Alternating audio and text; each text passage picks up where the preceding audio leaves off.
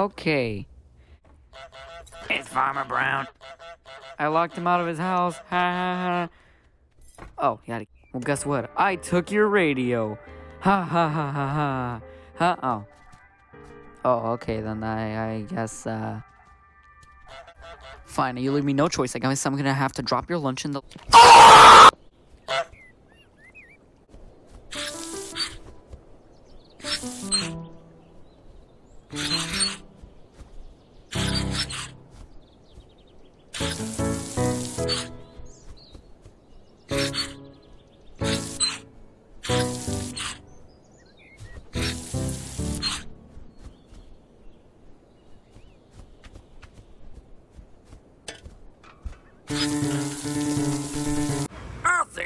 some flour.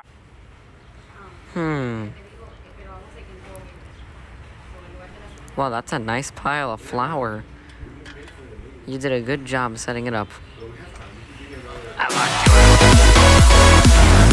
It would appear that the goose is gone. Looks like everyone can go by their day again, huh?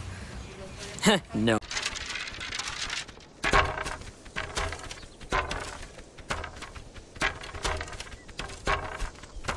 How does the farmer not notice? I'm setting up a picnic that's very unorganized. Alright, what do I need next? Basket. This is a heavy basket. Because I can totally feel the heaviness through my controller. Modern technology, am I right? I need the thermos. No, I need the thermos. Please, let me have the thermos. Please, let me have the thermos. Wait. I need to adjust my jam. Yeah, that's better. He seems like a nice guy. I would never take anything from him.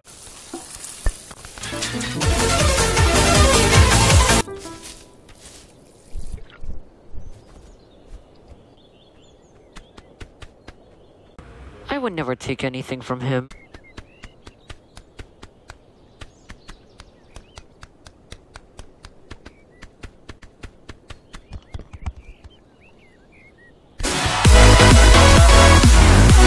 How intriguing. A pumpkin. Hi, my name is Carmen Winstead.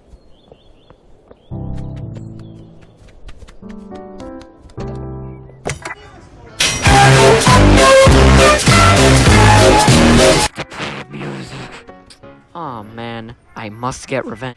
I must get revenge. But first, I need to get the thermos. All that's left.